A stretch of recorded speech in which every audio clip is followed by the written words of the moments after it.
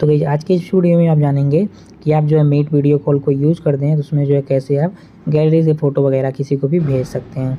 तो उसके लिए सबसे पहले आपको करना क्या पड़ेगा गाइज़ मीट एप्लीकेशन को कर लेना है ओपन तो यहाँ से आप मीट ऐप को कर लीजिए ओपन देखिए गाइज़ ओपन करने के बाद जो है आपको क्लिक करना है, उसके जो है नंबर्स पे। नंबर्स पे जैसे क्लिक करेंगे तो आपको यहाँ पर एक ऑप्शन आ जाएगा। ओके सेंड करने का। तो सेंड वाले बटन पे आपको कॉल के जस्ट करना है इस पर जैसे क्लिक करेंगे गैस तो देखिए अभी मेरा कैमरा खुल चुका है। उसके बाद आपको यहाँ पर फ़ोटोज़ वाले ऑप्शन पर क्लिक करना है और मैं कैमरे को थोड़ा बैक कर देता हूँ।